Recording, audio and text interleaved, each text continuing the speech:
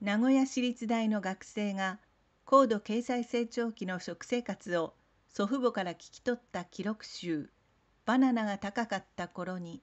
こんな階層がある。バナナは贅沢品。子供たちが風邪で寝込んだ時に特別に買ってあげたぐらいかな。半世紀ほど前までバナナは高級果物だった。庶民の手に届くようになったのはバナナ貿易が自由化された1963年以降となる。輸入先を見るとフィリピンが70年代に台湾などを抜いて首位に立った。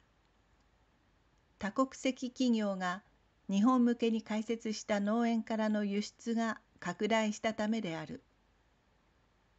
食品の値上げが続く昨今、物価の優等生と呼ばれてきたバナナにも変化が起きている。フィリピン政府が販売価格を引き上げるよう日本の小売団体に異例の要請を行った。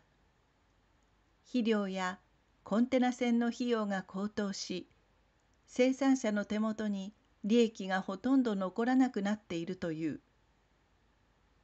国内シェアはフィリピン産が8割弱を占める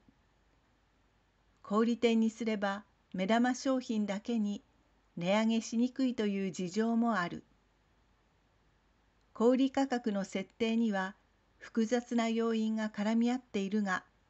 生産者へのしわ寄せは農業の持続性に影響しかねない。バナナを庶民の味方に留め置く妙案はないものか。